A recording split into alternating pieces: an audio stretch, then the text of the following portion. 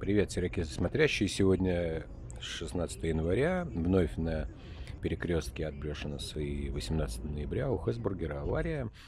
Ну, с э, постоянным одним и тем же исходом. Опять светофор, бедный светофор, наверное, там, я не знаю, 20 по счету. В год несколько раз его сносят. Перекресток действительно опасный. Э, я для себя вот уже давно решил, что я на желтый на этот перекресток никогда не еду. Ну, вот так устроено. Ну, то как, что значит никогда?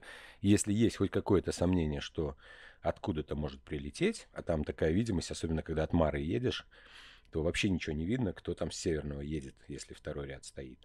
То я для себя принял такое решение. Я еду только лишь или на зеленый, или когда желтый переключается на красный, я за- заканчиваю маневр. В момент желтого не пытаюсь повернуть ни налево, ни проехать. Особенно от Мары и из центра, из северного, если ехать, вот, вот по Адбрюшенс, когда едешь, что там правый ряд, что тут правый ряд.